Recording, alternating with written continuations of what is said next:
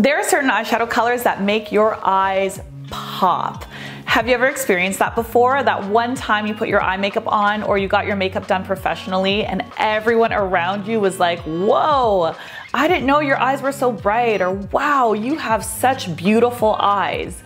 No one seemed to notice them before, but they noticed them then. Why? Why is that? And then in contrast to that, you've also likely put on eye makeup and realized that it instantly made you look really tired or drab. It just didn't work. Why did it work that one time, but not the other time? Why did one make your eyes look gorgeous and bright and everyone was noticing them, but the other time you just looked tired? Why? Why did that happen? Today we're gonna be talking all about different eye colors and the eyeshadows that make them pop. Hundreds, hundreds of you guys requested this video in my five tips that will make you look younger after 60 video. And I've told you before that I always read comments and make content that is catered towards helping you. So we're going to do that right now. Let's just start by going through color theory a little bit. If you guys really like this, I can do more and more in-depth videos on it, but I am just going to touch on it today because it's going to help me explain everything else in this video. If you wanna skip this part, you can get right into the eye colors found at this timestamp. But if you want to nerd out with me, then keep on watching. So complementary colors are colors that are directly across from one another on the color wheel. So for example, red and green, orange and blue, purple and yellow. These color combinations are bold, but they're especially pleasing to the eye. If you actually stare at a blue sheet of paper for a while, and then you immediately stare at a white wall, you're actually gonna notice that you will see a faint orange on the wall as an after image.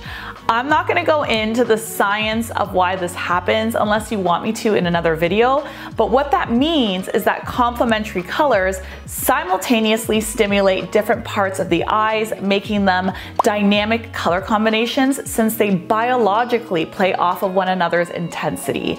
It is a great natural example of opposites attracting. Another thing I like to think about a lot are analogous colors, and those are the ones sitting next to one another on the color wheel. Sometimes I like to go in the complementary color route depending on the effect that I'm creating, but sometimes I really like staying with the analogous colors, and you're gonna see examples of that in a minute. And finally, we also wanna think about color temperatures, whether the color is cool or warm.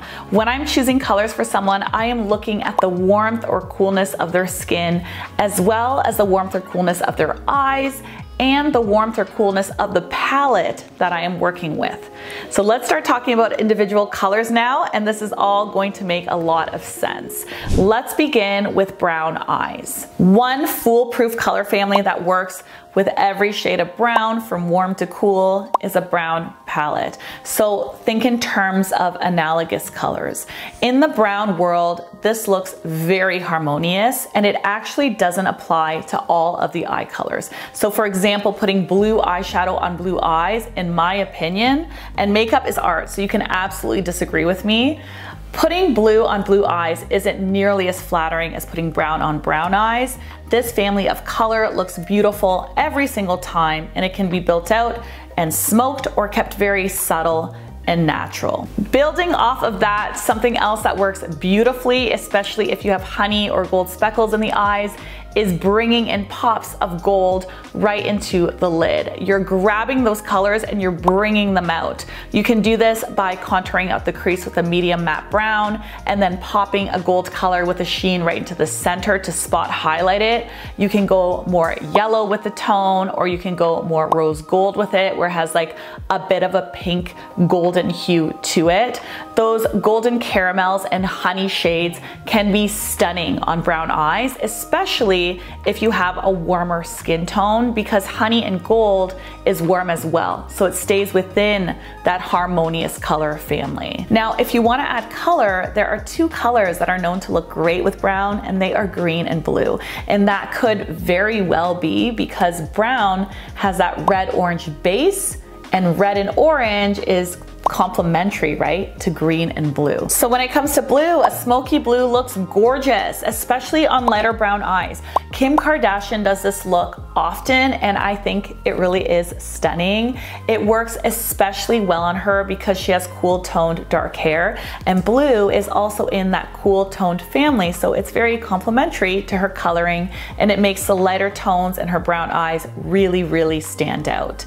Another color that looks gorgeous is green and I think it's because it's also in like that earth palette family, right? Brown, green, it's all a part of that earth family and it's very harmonious. If you wanna add a pop of color, but you're not adventurous, instead of doing it in a smoky way, you can very strategically place the colors where you want them to go. A great way to do this is by doing a neutral eye and then adding a pop of color right on the bottom like I did today.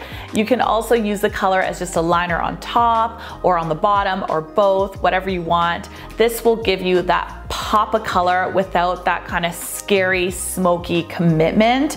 You know, a colorful smoky eye is a big commitment. So if you wanna try color, definitely try it but you don't have to go all the way. You can just do it as like a spot highlight effect, which is a great way to do it. Now let's talk about blue eyes. It is very well known that orangey, coppery earth tones are extremely flattering on blue eyes, and that is because blue is opposite to orange on the color wheel, so they are complementary. The one color really does make the other color pop, and you will see that in Hollywood celebrities. The blue-eyed Hollywood celebrities wear orangey coppery eyeshadows all the time. I see it on the red carpet all the time. It's very strategically done from their makeup artist to make their eyes really pop at those events. Even though blue is a cool toned color, warm tones like really warm browns just seem to look amazing when put directly beside it.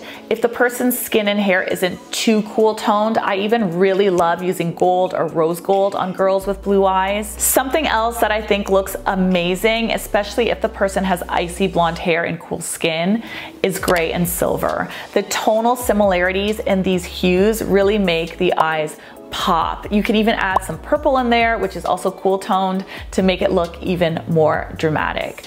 Typically, I find that blue-eyed women with brunette or honey blonde hair look great in the warm eyeshadow palettes with the coppers and the browns, and the blue-eyed women with the icy blonde hair or even like a silver gray hair look great with the cooler toned families of eyeshadows. No matter what color though, no matter what color is chosen, whether it's warm or cool, I must say I love, love, love doing a smoky eye on a blue-eyed girl.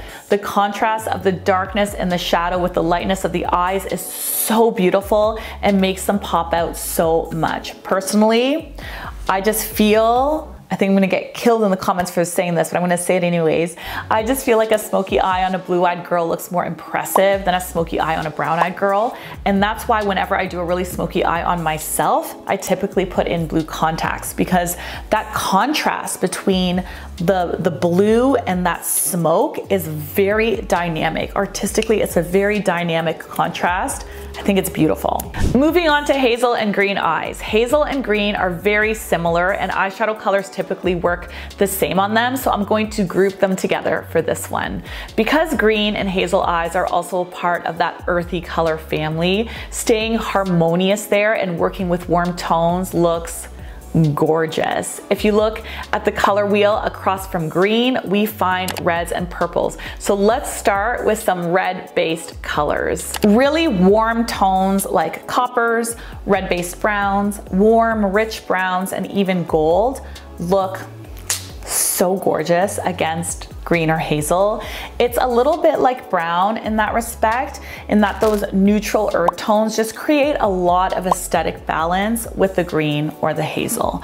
If you find that you have a lot of gold flecks in your eyes, bringing that gold into the shadow will draw that quality out in them and make the gold look even more noticeable. If there's something in your eye color that you love, like a golden speckle or whatever, try finding an eyeshadow with that tone or that color and pop it on the lid because that will really draw your eye into that color in the eyes and make it come forward. One color that is also known to be super flattering on a green eye is purple.